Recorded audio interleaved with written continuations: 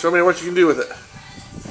It's kind of hard to do inside. Uh, but then I smack myself on the shoulder. I haven't had much practice with this bike. See, sometimes I'm good at it and sometimes I'm not. and Especially hard to do when I, I, I got my pinky. Yeah. See, I slipped on the steps up by the house. And when I did, my finger went underneath the screw. Yeah. Like that.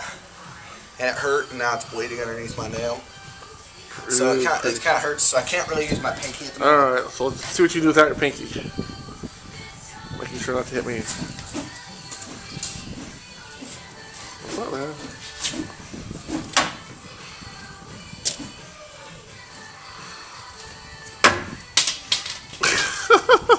Sometimes I get a little excited.